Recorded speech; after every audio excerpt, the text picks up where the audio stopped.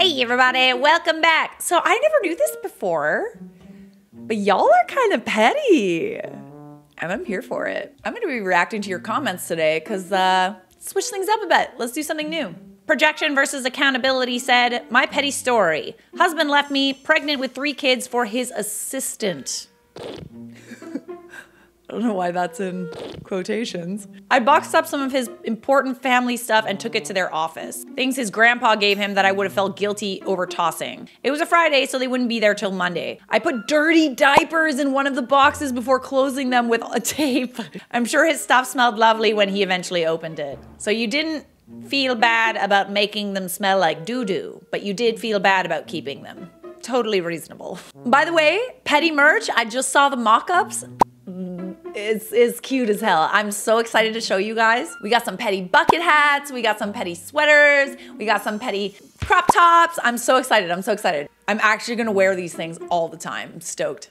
My favorite petty story was the woman who lost her house to the cheating husband, so she ate a shrimp cocktail and left the remains in the curtain rods.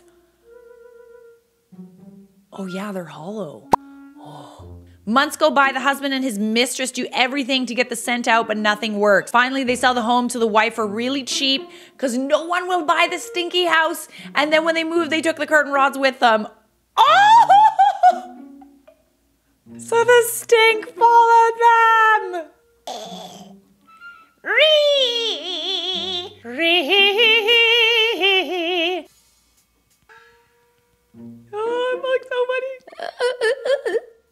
Told this story from a friend whose friend from work found out her husband at the time was doing the horizontal tango with another woman. Ooh, horizontal tango. So, whilst he was away on some sort of trip, she had all his suits, legs, and sleeve tailored to around two inches shorter and hung them all back up. So they looked absolutely fine until you put them on. I bet he was like, Did I gain weight? Ah, God, I swear, you guys are so funny. I'm losing it. I love how petty you are. No wonder you like my petty videos. Y'all are petty. I love it. I'm serious. I actually love it. I'm not judging any of you. It's funny as hell. Mummy Hobbit said, the most petty. I was with this guy for seven years, married for two, when he got cold feet and decided he didn't want the relationship anymore. We just bought a house a few months before and had been trying to get pregnant for a year. Then one night I had a friend visiting. He just left. Went to his mom's like a coward and left me worried and panicking for hours before I called his mom. Hadn't done this as not to worry her. She was a on the phone and hung up on me. Minutes later, I got a text from my husband to take the cats and get the frick out. So that pretty much ended the marriage. I emptied the house the next day with help from wonderful friends. I paid for just about everything but left him a frying pan in the kitchen and an air mattress to sleep on. Oh, and all the debt to the house. I never looked back and never regretted a thing.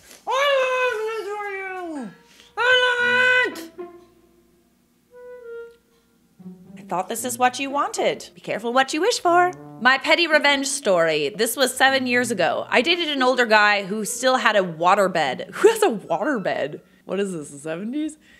Watch 10 people be like, I have a waterbed, Charlie. Don't meet me with people with waterbeds. They're so comfy. I'm gonna take a pin. I'm gonna stab it. There's a garbage truck outside.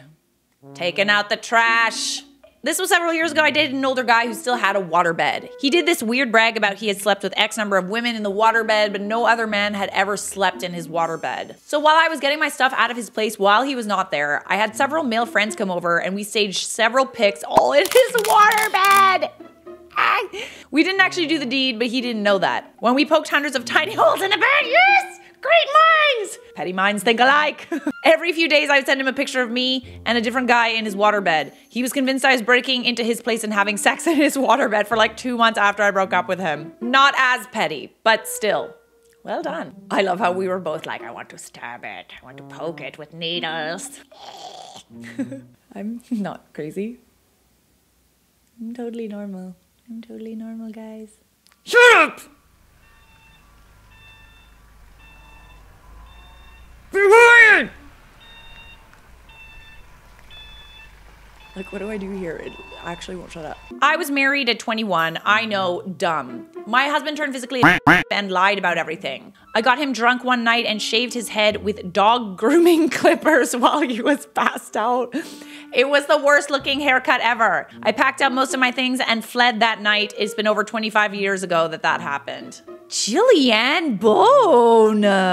Naughty, naughty. Angie Meyer said, Here's mine. He was leaving me, but decided since I wouldn't let him touch the washer and dryer anymore, he set the brand new washer my folks gave us on fire two weeks after moving in, so I wasn't letting him touch either unit after. But since I had to wash his clothes before I packed up and left, I could also fold and pack his clothes for him. I said okay.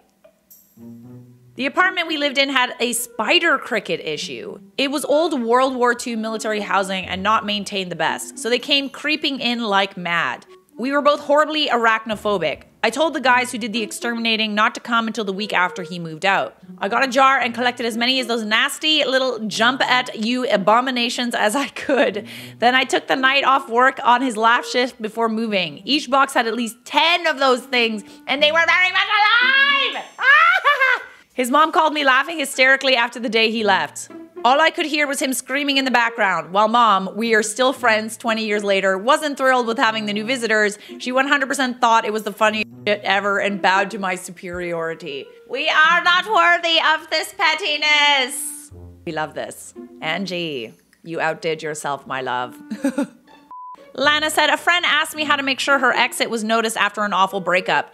I told her to remove every light bulb in the apartment when she left, including the one in the fridge. Oh, that's cold. Get it?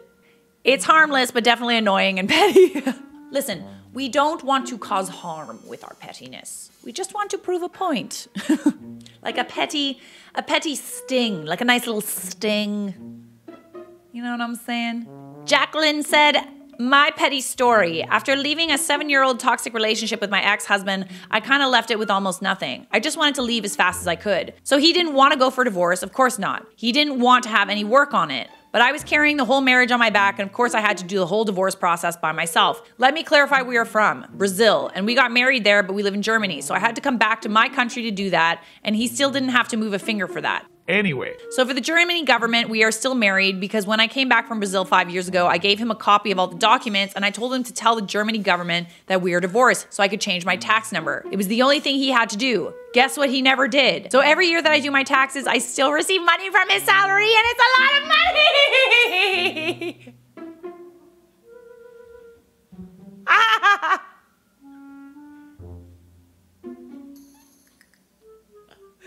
oh my god. So good. So good. And if he ever has a problem with it, just be like, I told you to do that. You didn't. My money now. Finders keepers. Mindy said, I was in an abusive relationship for about two and a half years. He was mostly emotionally but sometimes physically. He had a bunch of guy friends that we hung out with all the time, and they saw how he treated me. So when I finally worked up the courage to say enough is enough, his whole group of guy friends basically just dropped him. They became sort of my closet guy friends and would watch out for me and protect me whenever he tried to talk to me. I'm not sure if that's petty or not, but I loved it. The happiness that you feel for stealing his friends is petty. and just, if I may say so. I'm gonna give you a little heart for that. Okay, nice little heart for you. Chris said, I was married for 21 years when my husband decided to leave for another woman. Long story short, I kept all of the DVDs and Blu rays of all of his James Bond movies, Star Trek, Lord of the Rings, etc., even those I bought specifically for him. I gave him nothing from our home except his clothing and personal items. I was like, if you're gonna live with your hoe, maybe she can provide all the stuff I bought over the years. I don't know if that was all that petty, but I felt better. but it brought a little bit of joy to my otherwise very dark day, as you have done to me, my dear. Like I'm literally laughing. Like this, this is super funny. I, I, I love you guys. I love you guys so much. I, I could just picture us all laughing like little henchmen. Like. Leave a like if you know where that's from. Hey, leave a like, subscribe if you if you if you if you know where that's from, and also do that if you don't. Pettiest Pookie said, Pookie. Oh, I like your screen name, Pookie. Pettiest moment I had after a breakup. I'd been with this girl for two years. We lived together. She cheated on me on a girls' weekend. Although all her girls came back and she stayed two days longer to cheat more. Luckily, her friends were awesome and told me. Wow. Good for them. Two weeks after we broke up, there was a party in my house. A cute girl sat down to me at the end of the night and said, You were dating X, right? She said, Yep, unfortunately. I said, Yep, unfortunately. To which she replied, Yeah, she really hates me. Gave her a look and just said, which for the record is generally not in my nature. You want to go upstairs? And the rest is history. I still don't know that girl's name as her friend woke her up early in the morning and they left. I'd say I'm not proud of the one nighter, but I am. Shared hatred brought us together for one night of fun. It helped my pain. I love the laugh at the end. Oh my god! So funny! Oh my goodness. Thank you guys for all of this. We're gonna do a few more just because I'm just I'm genuinely enjoying this so much. Do you guys want to see more videos with your comments in them? I feel like there's this is like a special topic, but yeah, let me know. I left in a relationship where he had also cheated on me and accused me of cheating. I owned almost everything. He only had a desk. I took almost everything with me. I left the mattress my cat had peed on so he could sleep on that. He called me a couple of weeks later and started rambling on about how he knew I'd already slept with two other men. He mentioned one of them, which was a friend of mine. I went to my friend and told him about the new rumor about us. After laughing, we got to talking. Why not? Why not? We ended up having a friends with benefits relationship for six months, thanks to my ex, who was angry I left him. That is what you call karma, my friends. And Travis said, I turned my ex in for tax evasion. I found out he was still married to his wife in New England. So when we spoke, she asked if I had access to his work files. I said, Does his briefcase count? So I spent a few hours going through the combinations on his briefcase, 619. I copied all of his contractor info and faxed it to his wife. She called New England's tax officials and gave them his info and current address. I received a letter from his ex during Christmas. Wow, this Christmas, eh? Oh, yeah, sure. She was finally able to serve him papers in prison and get the divorce he denied her, and he received five years for tax evasion.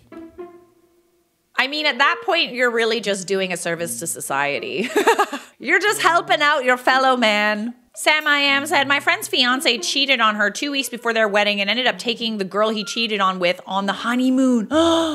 My friend had heard a story about someone else's petty revenge and decided to do something similar. She cleared the house of all the stuff, lightly watered all the carpets, and then threw down grass seed, and then turned the heating up high and left. We later heard when he returned from the honeymoon, the grass was pretty high and the house was like a jungle. In the jungle, the mighty jungle, the petty comes tonight.